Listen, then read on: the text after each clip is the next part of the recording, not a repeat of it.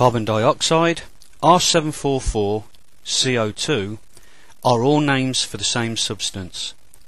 In this video, produced by Danfoss, we will refer to this as CO2 only. The video shows the different phases of CO2 and how two of the phase changes occur by altering either the pressure or the temperature. When compared with commonly used refrigerants R134A and R717, CO2 has some unique characteristics. It operates at a much higher pressure, but across a narrower temperature range than both the R134A and R717. The pressure at the triple point is high, and the temperature at the critical point is low. These facts must be taken into account when CO2 is utilized as a refrigerant. The application of CO2 as a refrigerant was introduced in 1850. From studying the literature, it can be established that CO2 refrigerant systems were developed during the following years and that they were at their peak in the 1920s and early 1930s. Between 1950 and 1960, CO2 refrigeration technology virtually disappeared from the market. However, in 1993, this CO2 refrigeration technology was revived. In order to observe the CO2 phase changes, an observation cell, specially designed and constructed by Danfoss, has been used. The cell is designed to withstand pressures up to 140 bar gauge. In this diagram, the coloured areas define the temperature and pressure limits at which the CO2 vapour, liquid, solid and supercritical phases exist. This is known as the temperature pressure diagram or phase diagram for pure CO2. The red solid lines indicate the pressure and corresponding temperatures at which two different phases of CO2 exist in equilibrium. For example, liquid and vapour, solid and vapour, and solid and liquid. Here is the triple point and here is the critical point on the phase diagram. For refrigeration purposes, the pressure enthalpy diagram is commonly used. For CO2 applications, this diagram has to be extended so that the solid and supercritical phases are included. The coloured areas indicate the different phases of CO2, namely vapour, liquid, solid and supercritical. The triple point is here, the critical point is here.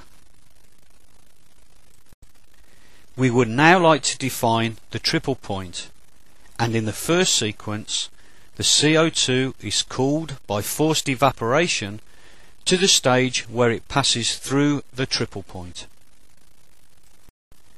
The cell is charged with liquid CO2 at an ambient temperature of 20 degrees C, which has an equivalent pressure of 57.2 bar absolute. Venting CO2 from the vapor phase allows more liquid CO2 to decant from the supply cylinder to the cell thus raising the liquid level. When the cell is sufficiently full, both the vent and charging valves are closed. When the CO2 content within the cell has settled, the vapour and liquid are in equilibrium. This is represented by the cross on the vapour-liquid line. The vent valve is now opened to release CO2 vapour. The pressure and therefore the temperature of the liquid CO2 falls rapidly as it boils to produce more vapour.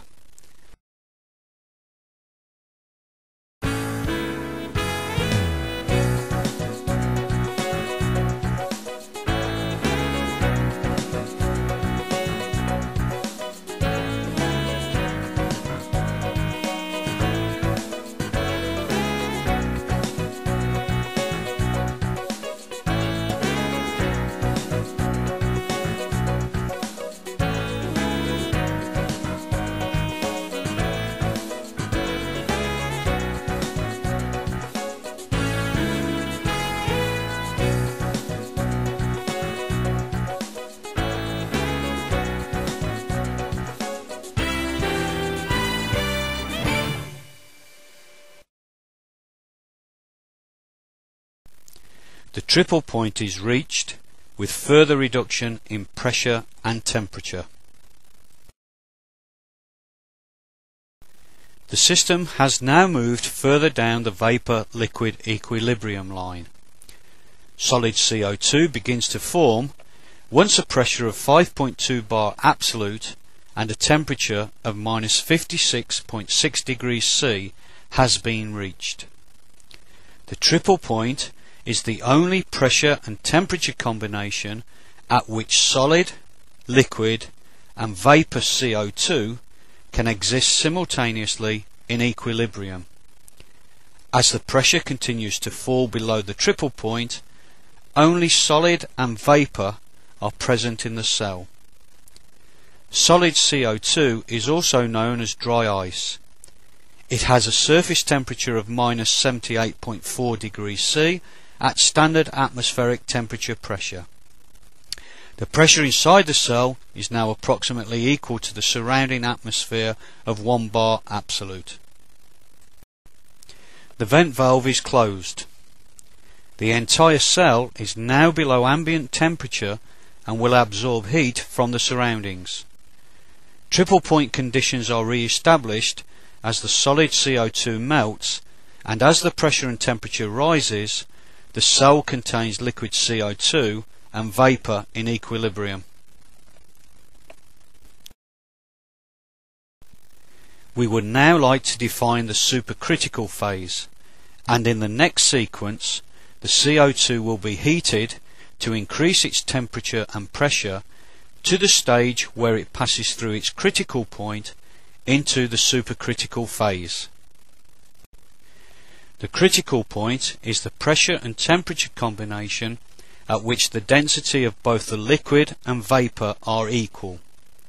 The distinction between the liquid and vapor phases disappears gradually as the pressure and temperature increases towards the critical point until only a single phase exists in the supercritical area. The density of CO2 at the critical point is 468 kilograms per meter cubed which is of the same order as many liquids, but is nearly 2.5 times higher than the CO2 vapor density at the starting point of 20 degrees C. The cell is again filled with liquid CO2 under the same conditions as before.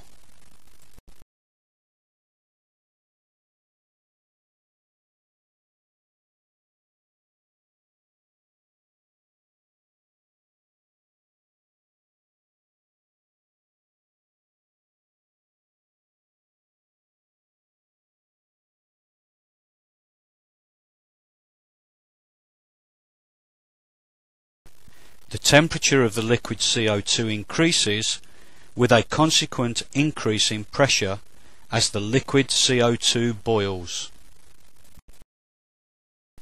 The CO2 vapor density above the liquid increases as the temperature and the pressure increase and the distinction between the two phases disappears.